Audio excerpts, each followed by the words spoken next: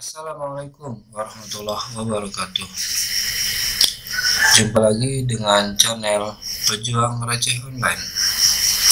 Pada video kali ini kita akan membahas bagaimana cara pengaturan margin dan pembuatan nomor halaman pada penulisan makalah atau skripsi di mana ciri khas utama dari penulisan skripsi adalah nomor halaman itu berbeda-beda. Nah, hal ini akan kita buat dalam satu file. Bagaimana cara membuatnya? Saksikan terus video ini sampai selesai. Oh ya, bagi yang belum subscribe, belum subscribe, silakan teman-teman tekan tombol subscribe terlebih dahulu agar teman-teman bisa mendapatkan video-video terbaru dari pejuang receh online.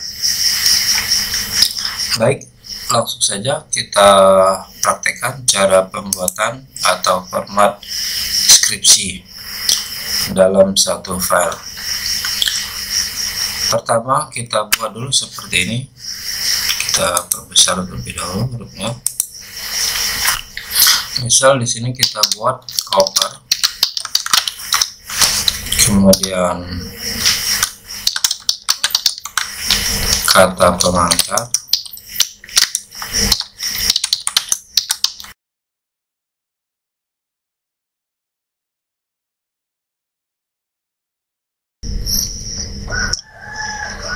kemudian ini kita anggap ada tulisan ada isi.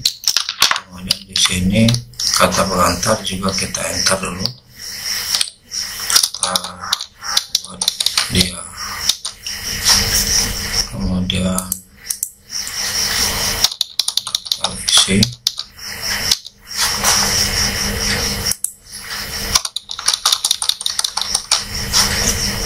Bab satu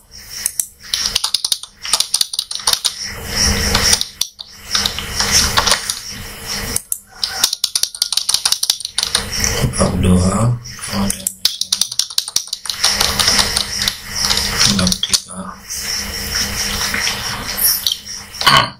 lalu misal bab satu yang kita buat lebih dari satu lembar kita beri teks terlebih dahulu. Hmm.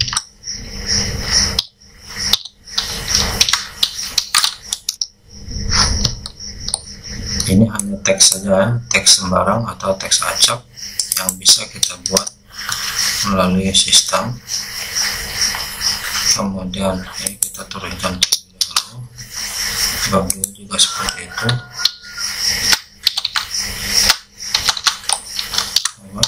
Kan gorong 4,3 seperti ini bab 2 hanya satu lembar lalu kita tulis bab 3 kita buat sedikit lebih banyak teksnya. Sama dengan ran 8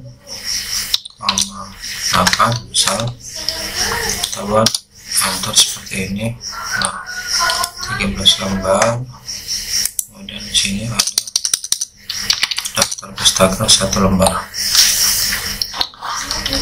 nah teman-teman bisa lihat format seperti ini misalkan ini adalah tulisan yang sudah teman-teman buat terdiri dari cover, kata pengantar, daftar isi, bab 1, bab 2, bab 3 dan di sini ada daftar pustaka.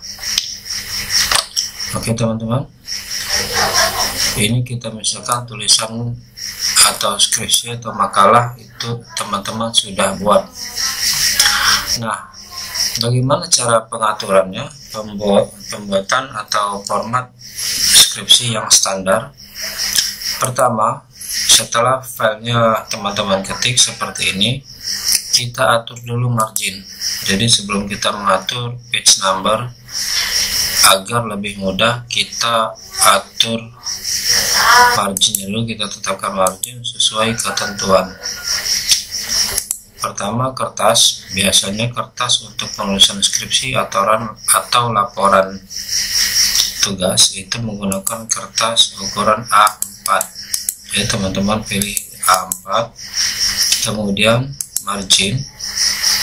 Margin yang standar adalah top 4 cm kemudian sebelah kiri atau left itu juga 4 cm kemudian bottom 3 cm kemudian right juga 3 cm nah biasanya posisi margin yang digunakan untuk penulisan skripsi standarnya adalah 4 cm 4 cm bottom 3 dan right 3 kemudian orientasinya adalah potret. Kalau selesai pengaturan paper size dan margin ini sudah kita atur. Ini multi pitch biarkan posisi normal. Kita buka layout. Nah, di sinilah kunci atau patokan untuk menentukan sukses atau tidaknya kita membuat nomor halaman yang berbeda dalam satu file. Teman-teman buka lay, klik layout, kemudian pada kelompok header and footer ada different page Nah, di sini teman-teman kasih checklist. Tujuannya apa? Agar nanti setiap awal halaman yang kita inginkan itu bisa kita letaknya bisa berbeda dengan halaman seterusnya. Kalau ini setelah sudah kita klik, tinggal kita klik OK. Nah, teman-teman lihat di sini secara umum masih normal seperti biasa seperti ketika pada pada awalnya pada normal umumnya langkah selanjutnya adalah kita beri nomor halaman atau page number. Yang pertama kita buat page number yang standar. Ada dari sini insert. Kemudian page number. Terus format page number nah di sini formatnya masih kita buat yang standar dulu saja biar lebih mudah nom angka 123 normal kemudian di sini continue from previous section. Kemudian di sini oke. Okay. nah teman-teman lihat. Bottom. Kemudian kita letakkan nomor halaman itu di bawah dan di tengah. Nah teman-teman lihat di sini nomor halaman sudah tampil ini kita perbesar. Saya perbesar saja biar lebih jelas. Misal di sini atau apa atau kalau teman-teman ingin memperbesar huruf pada Microsoft Word menggunakan shortcut teman-teman bisa tekan Ctrl plus kurawal atau seperti ini. Shortcutnya CTRL plus kurung. Ini. Kurung kurawal jadi ini akan membesar. Nah oke okay. ini saya hapus.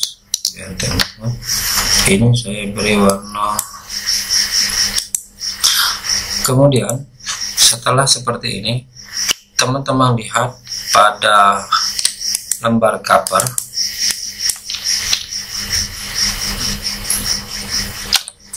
teman-teman lihat pada lembar cover di sini sudah tidak ada halaman lagi atau nomor halamannya sudah hilang.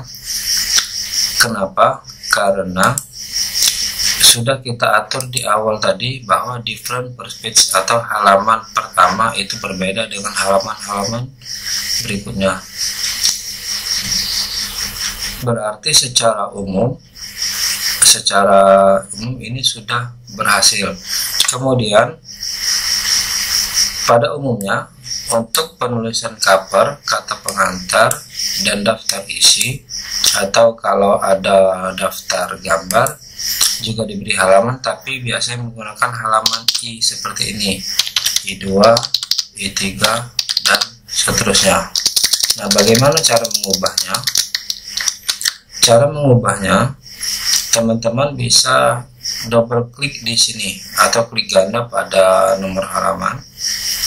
Di nomor yang kita ingin kita ubah seperti ini nomor 2 untuk lebih memastikan letak pointer kita teman-teman klik halaman yang akan kita ubah. Kemudian dari menu bar desain teman-teman buka page number page number. Kemudian teman-teman pilih format page number. Lalu di sini number formatnya kita ubah menjadi titik-titik atau sesuai yang kita inginkan. Page numbering start at ini tujuannya apa? Apa fungsinya? Fungsinya agar nomor yang kita blok tadi kita pengennya mulai dari awal angka yang kita inginkan atau mengikut halaman sebelumnya. Nah karena ini pengen kita buat halaman 2 berarti ikut dengan halaman sebelumnya berarti tetap continuous from previous. Kalau teman-teman buat seperti ini ini bisa kita buat menjadi i3 i2 atau i4 seperti ini tapi kalau kita masih ikut ke halaman sebelumnya tetap continue from previous. Kemudian di sini oke. Okay. nah teman-teman lihat di sini seluruh halaman itu berubah menjadi i2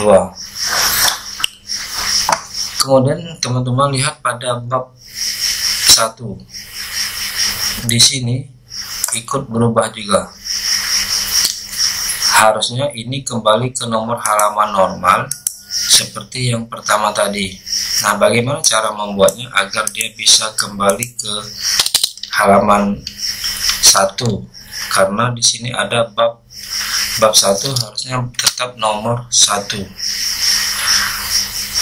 Sedangkan di sini kalau kita ubah atau kita bisa satu klik dia halaman sebelumnya ikut berubah juga. Nah agar halaman sebelumnya tidak ikut berubah atau tidak mengikuti aturan pada bab 1 kita putuskan terlebih dahulu linknya. Link previous. Bagaimana caranya? Agar pada bab satu ini halamannya bisa kita ubah berbeda dengan nomor halaman pada kata pengantar, daftar isi, dan cover. Pada saat pemindahan tulisan bab 1, kita menggunakan fasilitas next page. Bagaimana next page ada di sini pada page layout, kemudian break. Bagaimana cara menggunakannya? Ini kita kembalikan ke halaman sebelumnya atau kita delete dari sini. Nah, pastikan judul bab 1 kembali ke bergabung di halaman sebelumnya, daftar isi atau daftar gambar. Kemudian kita kembalikan lagi bab 1 ini ke halaman 4 tapi dengan bukan di enter melainkan kita menggunakan next page. Ada di page layout kemudian break. Di sini ada next page. Nah teman-teman lihat halaman page bab 1 itu nomor halamannya sudah hilang. Berarti ini sudah bisa kita ubah menjadi halaman satu. Bagaimana kembali membuatnya teman-teman double klik pada halaman tiga ini atau pada putar double klik seperti ini. Kemudian teman-teman sorry ini kita perbesar dulu biar mudah biar lebih jelas. Teman-teman double klik kemudian pointer teman-teman letakkan pada putar bab 1 di, di mana halaman itu akan kita buat. Kemudian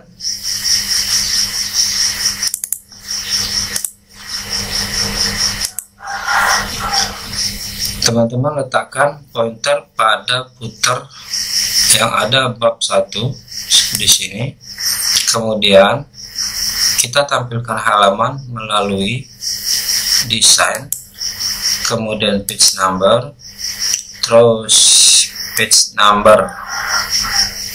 Lalu di sini formatnya format penomoran kita kembali yang standar saat angka 123 seperti ini. Nah di sini page numbernya kita ubah menjadi start end. Jadi nanti halaman akan memulai dari angka 1 kemudian oke. Okay. setelah format kita buat lalu kita tampilkan halamannya melalui page number ini juga. Page number kemudian bottom. Lalu kita tentukan letak halamannya ada di bawah. Seperti ini. Nah ini teman-teman bisa lihat. Kontrol teman-teman kontrol kurawal. Tutup kurawal tutup. Nah seperti ini. Kita beri warna. Ini juga kalau kita beri warna dia tidak mengubah nah teman-teman lihat.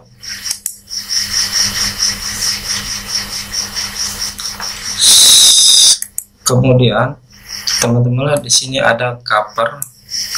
Cover ini dia ikut tampil karena pengaturan pada di sini tadi. Ini kita hapus. Sorry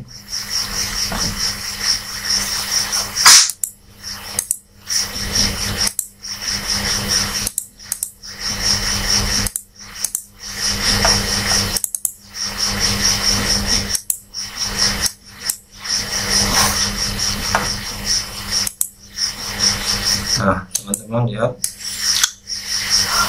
pada gambar ini link previousnya masih hidup. Ini berpengaruh pada tampilan dengan halaman sebelumnya. Teman-teman bisa cek. Misal ini saya beri teks, maka cover ini akan ikut juga ikut pengaturan pada lembar ini. Bagaimana agar pada lembar cover ini tidak ikut pengaturan di sini. Teman-teman blok halaman nomor halaman pada bab 1 kemudian teman-teman lihat pada menu desain. Di sini ada tombol link to previous. Ini tampak masih menyala. Sekarang kita matikan atau kita klik maka link private-nya akan padam lampunya lalu yang halaman satu ada cover bisa kita hapus tanpa mengganggu bab 2 dan seterusnya bab 1 dan seterusnya ini kita hapus kembali nah, sekarang teman-teman lihat halaman satu sudah berada di bawah dan sesuai dengan posisi format ketentuan. Bagaimana dengan halaman 2-nya? Nah, untuk membuat halaman 2 agar berada bisa berada di atas dan sebelah kanan, teman-teman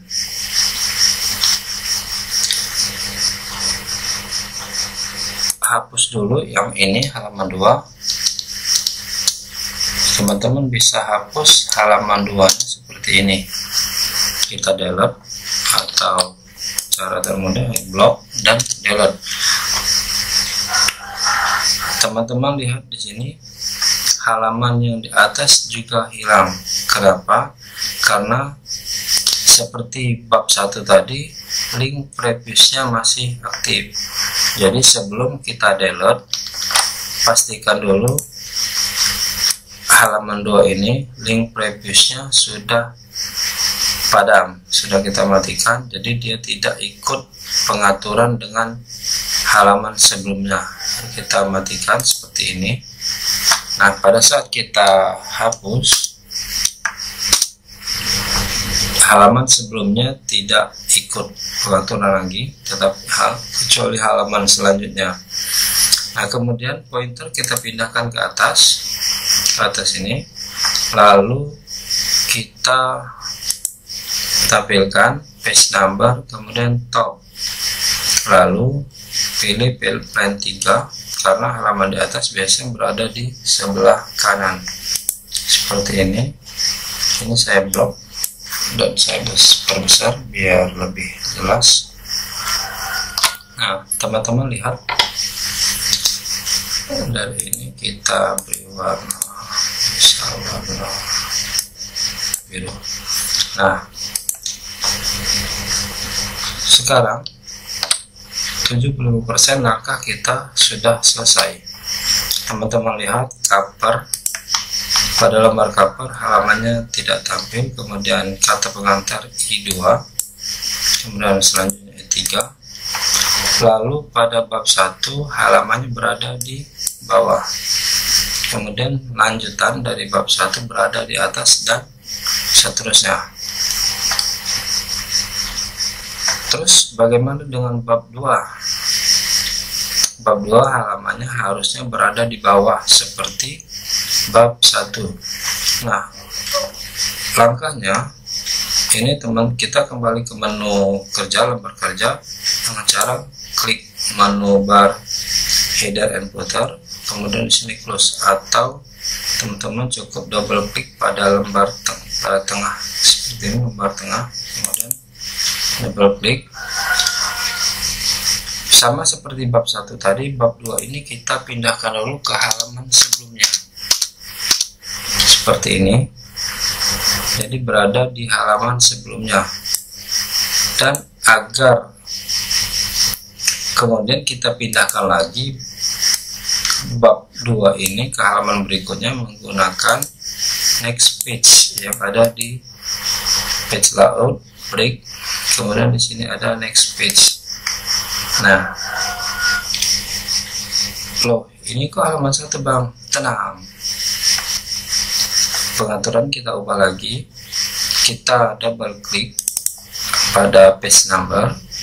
Kemudian di sini ada page number. Kemudian format page number. Lalu page number ini kita ubah menjadi continuous from previous. Lalu kita klik OK. Nah seperti ini. Dan begitu juga. Lalu ini kita close. Nah, teman-teman lihat setiap halamannya berada di bawah. Itu berwarna merah, kemudian yang berada di atas berwarna biru. Loh, bab tiganya masih di atas bang, harusnya kan di bawah. Iya betul.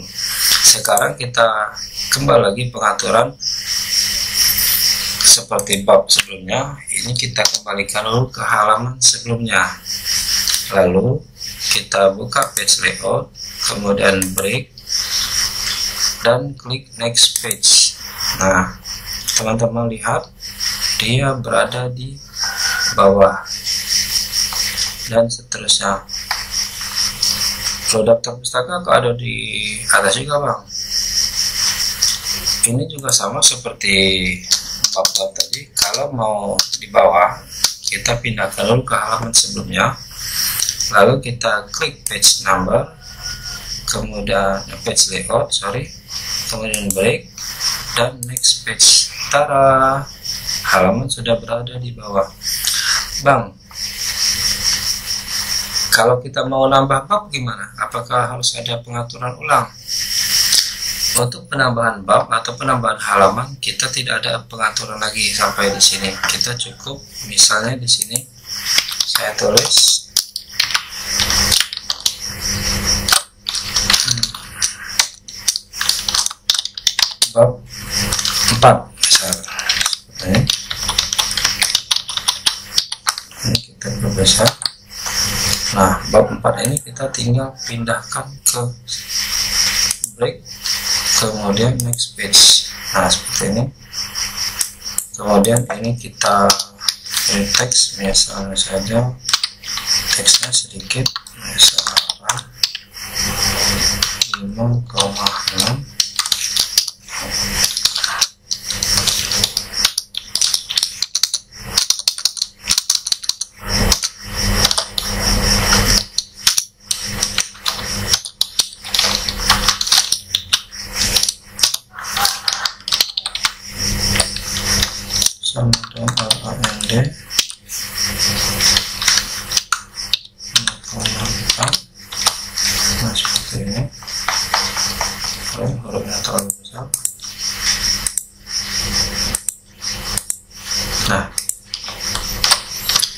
teman-teman lihat halaman 0 page numbernya secara otomatis berubah.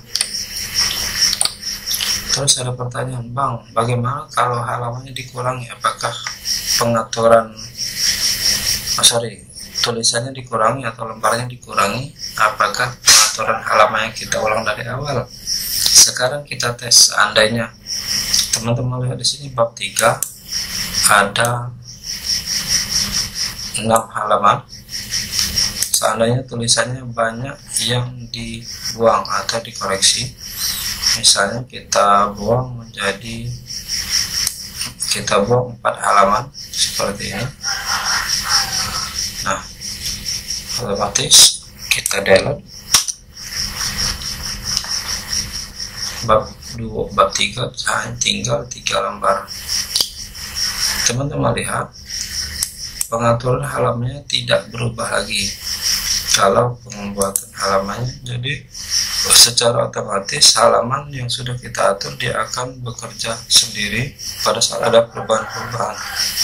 Atau misalkan ini bab 2 hanya satu lembar seandainya ada perubahan-perubahan menjadi banyak misalnya ini kita ke kanan copy lalu kita pastikan di sini.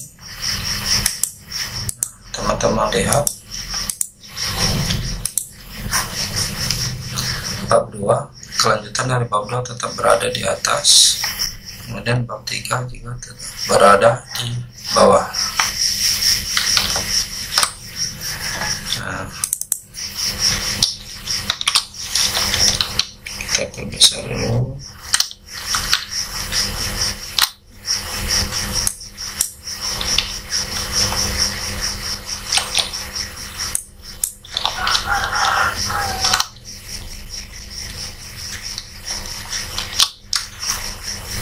ini kita biar lebih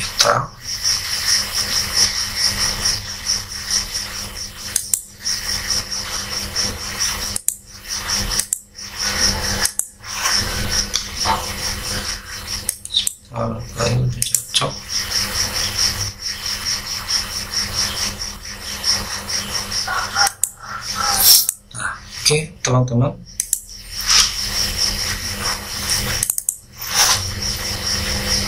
sampai di sini. Oh sorry. Teman-teman lihat pada cover pada cover dia ikut tampil pada halaman se seperti halaman sebelumnya. Bagaimana cara menghilangkannya? Cara menghilangkannya sama seperti yang sebelumnya. Teman-teman double klik di atas ini. Di page footer pada halaman kedua. Teman-teman lihat teman-teman uh, perhatikan misalnya teman-teman klik pada lembar ini pada lembar 2 yang harus memang benar ada. Link previousnya masih tampil masih menyala. Agar angka ini bisa dihapus kalau ini kita hapus sekarang otomatis yang lain akan hilang tanduk kembali link previs pada halaman ini kita padamkan jadi dia tidak mengikut sertakan halaman sebelumnya. Jadi halaman sebelum bisa kita hapus sekarang kita blok dan kita delete. Nah seperti ini. Ini kita bisa atur aturannya seperti ini. Nah teman-teman bisa lihat oke teman-teman. Sampai di sini dulu tutorial dari saya. Oh ya bagi teman-teman yang pengen coba ada pertanyaan terkait masalah ini silakan teman-teman tinggalkan komentar tinggalkan pertanyaan pada kolom komentar. Dan jika teman-teman pengen format Word seperti ini teman-teman bisa download langsung pada link yang ada pada deskripsi. Oke teman-teman. Sampai di sini dulu. Dan nantikan video-video selanjutnya dari pejuang receh online. Wassalamualaikum warahmatullahi wabarakatuh